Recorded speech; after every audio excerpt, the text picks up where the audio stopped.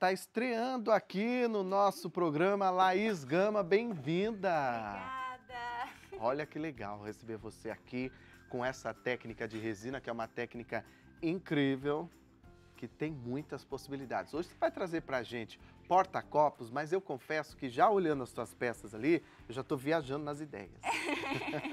é, dá para fazer muita coisa mesmo. A gente sempre fala que o céu é o limite, né? Exato, exato. Hoje, essa proposta que você traz para a gente, que é um porta-copos, é uma proposta até para quem está iniciando na resina? Sim, aliás, quando a gente é, propõe, né, temos cursos e chamamos bastante resineiras que estão começando do zero, a gente monta um plano de negócios para elas e com início no porta-copos. Porque é uma peça que ela gera muito desejo, então a gente faz e consegue vender muito bem. A venda fácil. É. Né? né? O tem público um gosta, tem um baixo custo, vai pouca é resina. super útil. Uhum. Né? Fica bonito, né? A mesa posta hoje está super em alta.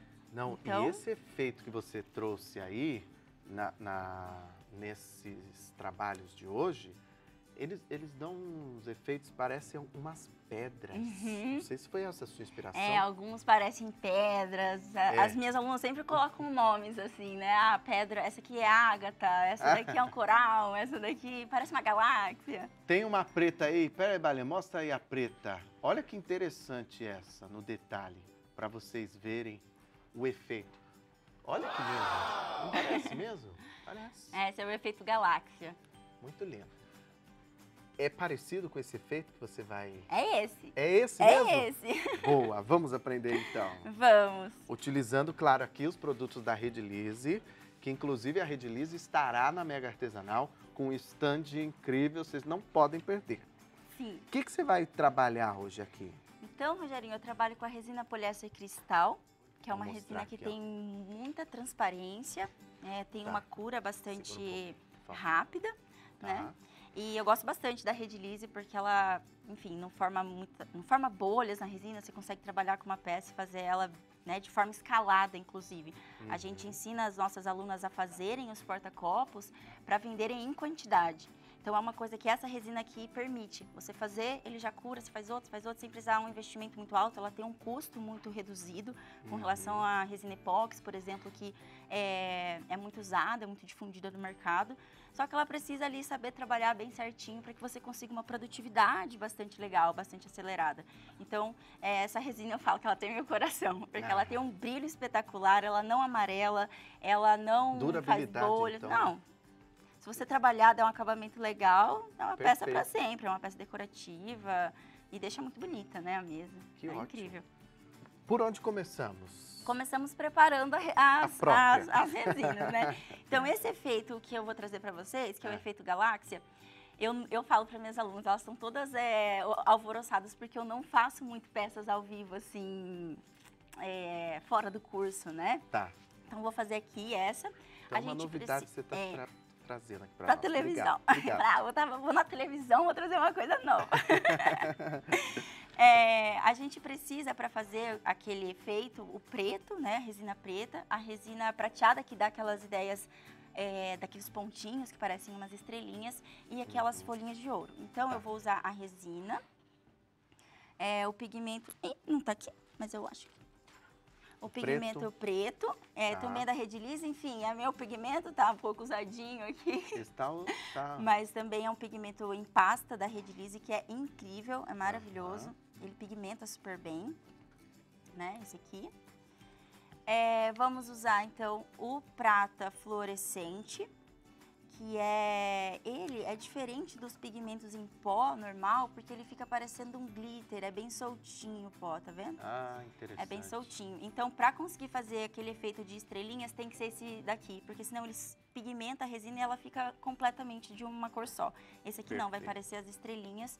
E as folhinhas de ouro que a gente compra, enfim, qualquer site da China, né? Aí aqui as folhinhas de ouro pra gente conseguir o miolo. Tá. Então a gente começa preparando aqui e precisa pesar, tá? É, esse porta-copos, esse molde de porta-copos também é um molde que a gente compra né, na, na, China, enfim, é um molde bem simples, bem fácil de achar, barato, vai pagar 15, 20 reais num moldezinho desses. E eu tirei com esse daqui umas 100, mais de 100 peças. Uhum. Então, com um molde, você faz muitas peças, não tem um investimento muito alto.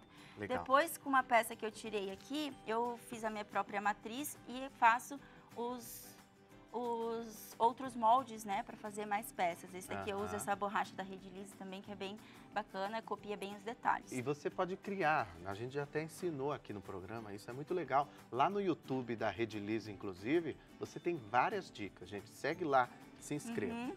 É, pode criar, pode fazer as peças que vocês, né, que quiser. Qual que é a proporção que você vai trabalhar? Aqui eu uso 75 gramas de resina né, para fazer o porta-copos, uhum. sendo é, 40 gramas da resina preta, 20 gramas da prateada e 15 gramas da resina. Aqui com... você vai colocar, né? É, vamos, podemos colocar, então. Vamos, vamos colocar lá. aqui.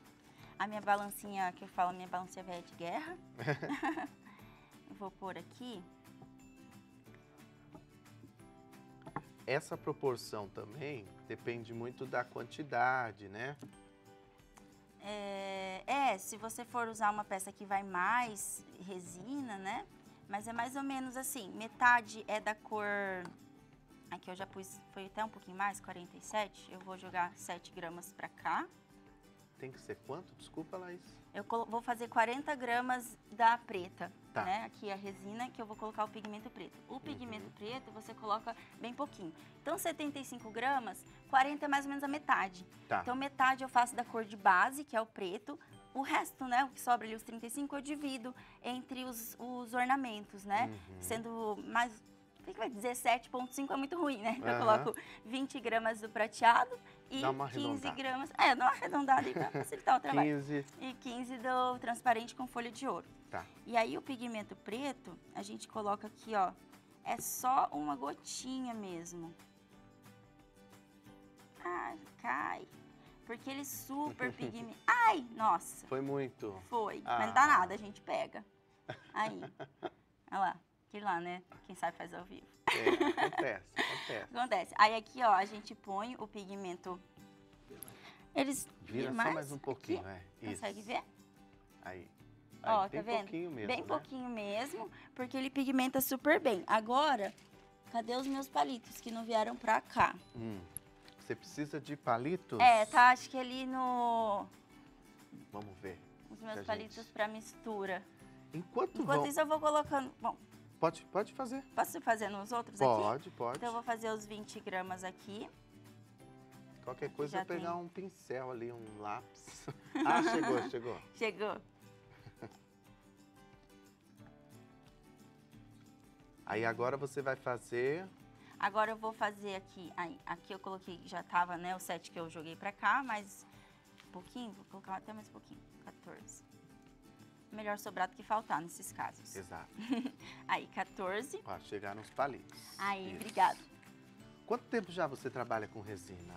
Com resina especificamente, eu trabalho faz um ano. Um ano? Um ano. Olha, Mas o que, eu, que você trabalhava antes? Eu sou engenheira mecânica. Engenheira mecânica? como é que veio parar nesse é, mundo é da resina? Eu sou engenheira mecânica. Aqui eu já é. vou misturando, tá? O tá. preto pra gente já ir é, ganhando a cor. Eu sou engenheira mecânica e tenho mestrado em engenharia de materiais. Que é a engenharia que estuda os materiais em si, né? A engenharia uhum. mecânica faz projeto de, de novos produtos e tal. Uhum. E aí é, me pediram para desenvolver um. Eu sempre desenvolvi produtos, tenho patente de produto, artigo publicado, participei de conferências com apresentando produtos novos, aí já tá bem mexidinho. Certo. E aqui tem, aqui que tem 20 gramas eu vou colocar o prata. Então é também bem pouquinho, ó, só uma colherzinha. Que ele vai dar ali aquele, deixa eu pôr assim, que ele vai dar ali a, a explosão, as estrelinhas. A hora que a gente movimentar aqui, ela vai mexer bem. É, dei aula em universidade pública por quatro anos de projetos de, de máquinas e que criação legal, de produtos. Olha! Aham. Uhum. E eu sempre criei produtos de diversos tipos, metal, plástico. Uhum. E aí me uhum. pediram para criar um produto e o único material que daria certo era resina. Ó, misturadinho. Foi aí que você teve esse E contato. aí eu comecei a mexer com a resina, simplesmente me apaixonei. Não parou mais. Não, e nem tive, nem consegui parar também, porque daí foram me pedindo mais peças, mais peças. Eu falei assim, ah, eu vou fazer isso aqui, que eu adorei. Mas aí você deixou de lado a engenharia, não? Eu deixei, foi eu deixei, eu dava aula na universidade, é um eu cheguei pro meu marido Olha, e falei eu fechei assim... achando que você não fosse mais Não, não tem problema. Cheguei pro meu marido e falei assim, eu não aguento mais dar aula. eu até gosto da aula em si, mas esse negócio de ficar corrigindo trabalho, corrigindo prova... E universidade pública, aquelas picuinhas dos professores, começou... Aliás, a profissão, né? Os professores do nosso país não são valorizados e reconhecidos. Não né? são. Né? Isso, isso é preciso ser dito e falado. E era, uma, né? e era justamente isso, a gente sempre aquela briga, sabe? Pelo, sei lá, coisas elementares, uhum. assim. Eu falei, ah, cansei. Sim. E aí eu falei, vamos, vamos fazer alguma coisa nossa, né? E aí a gente começou a... Se encontrou na resina. É, começou a mexer que com legal, algumas coisas e caiu legal. na resina. Olha, em tão pouco tempo, né, em um ano, a Laís hoje já... Já, vive já, de resina. Já vive de resina, né? Isso é tão legal a gente ver. Por isso que a gente fala aqui no nosso programa, né? Agora há pouco mesmo a gente estava com a Rita falando do empreendedorismo nas feiras, o quanto o artesanato é realmente é, uma fonte de renda né, para as uhum. pessoas. É, eu e meu marido hoje vivem exclusivamente da resina. Que legal. Uhum, fazendo legal. peças, né? Desenvolvendo peças. E como eu sou engenheiro, eu crio também projetos exclusivos. É, e hoje você está inspirando aqui tantas pessoas que você não tem nem ideia, nem eu tenho ideia. A gente não tem ideia de quantas pessoas nós estamos nos inspirando, é. que estão se inspirando na sua história e que lá na frente vão falar: olha, eu assisti no programa com a Laís, ela foi lá, fez tal. É, se ela, eu sempre falo assim: se um fez, se um pôde, por que eu não? Você é boa de conversa igual eu, né? Daqui a pouco nós vamos esquecer de colocar. Fazer um negócio. Ó, já fiz aqui, agora só vou colocar o catalisador, que tá. é o que faz de fato a resina endurecer. Perfeito. É, o catalisador, ele varia ali de 1 a 3% de, da quantidade de resina. Então ali uhum. eu tenho 40 uhum gramas do preto, eu vou calcular 40 vezes 0,03, 0,01, tudo vai depender da temperatura ambiente, da umidade, uhum. da espessura da peça, que peça você está fazendo, enfim, várias coisas assim. E aí você calcula a quantidade. Eu tenho aqui, por exemplo. O bom que a calculadora colocar... científica agora ficou, né? É, ficou, tá toda melecada de resina. Agora, agora é para resina. Agora tá toda melecada. Eu vou colocar aqui é, uma quantidade maior porque tá frio aqui, né, no, no, ambiente. Então eu posso colocar aqui um grama de resina tá. pro pretinho. Vou pôr aqui. Então vocês estão vendo, a Laís faz em copos separados, porque conforme vai despejando é que vai dando efeito, é isso? Isso. E qual que é a primeira a ser despejada? Eu despejo primeiro preto, tá. que é o que é a, faz a base, né, na verdade, a cor de base. Eu gosto bastante da poliéster cristal porque você dá uma mexidinha que raspa bem é, as laterais para né, não ficar nada sem catalisador e bem o fundo e já tá, já tá bom. Não precisa ficar ali 100 anos mexendo. Então ela tem uma produção bastante é, acelerada. Vamos lá? Vamos. Vamos ver rapidinho. então o efeito. Acho que é, é bom pôr em todos antes. Vou pôr aqui agora na mesma proporção que a gente colocou ali. Mistura um pouquinho. Mistura, mistura, mistura. Não precisa ficar enrolando muito. Hoje, o, hoje o Fábio não veio de terno, ele só aparece de terno aqui no programa. E agora aqui, esse aqui eu vou pôr bem pouquinho, porque a gente colocou 15, né? Ai, não precisa Visitem também... o stand da Rede Lise lá na Mega Artesanal, hein? Vai ser top. Tem que falar com o Bedu para contratar a gente, para divulgar o stand de vocês. na Mega. Pra eu ir lá gravar. Vou lá gravar no stand de vocês. Aí. Vamos ver a mágica acontecer Vamos. agora. Olha aí, Rita. Olha a mágica acontecendo agora, você que adora artesanato. Aí esse efeito aqui a gente põe primeiro preto, deixa eu até tirar isso aqui para não trombar. Gente... Vamos ver aí, a... pera aí. Pode, pode. Pode pôr? Vai. Aí, agora sim. Ó, a gente põe o preto contornando aqui tudo nas momento laterais. mais aguardado, hein, Brasil? É o no momento meio, mais... coloca. Olha lá. Coloca o prata. Ó. Bem no centro, antes do preto fechar, você coloca o prata. E com o transparente folha Isso, de ouro, aí. você coloca no centro. Aí, mostrou legal. Porque ele abre, ele joga o prato Cadê o selo? Cadê os aplausos? Cadê os efeitos? Vamos acordar o povo lá de casa. Você oh. joga e ele abre, oh, que né? Lindo. Eu falo que, o, que ele explode o prata, joga. Adorei. E aí faz esse efeito que a gente chama Parabéns, de viu, Laís? Rapidinho. Adorei te receber aqui. Primeira vez de muitas, já pode voltar várias vezes. Quero mostrar ali a folha, que aquela folha está muito bonita. Todos feitos feito, né, com a mesma técnica, do mesmo jeito. É, e a Nossa Senhora que a gente fez exclusivamente para vocês. É mesmo? Cadê a Nossa Senhora? Cadê a Nossa ó, Senhora? ah, cantinho. tá ali no cantinho, que A bonita. gente fez em três dias, correndo para trazer para vocês. É presente? Que Quer de presente? Olha que eu deixo aqui, hein? Obrigado. A gente coloca lá no nosso stand da Mega. Ó, oh, ficou então. Obrigado, já minha tá querida. Aqui. Volte mais vezes, tá? Foi um prazer, Obrigadão, obrigada. Obrigado mesmo.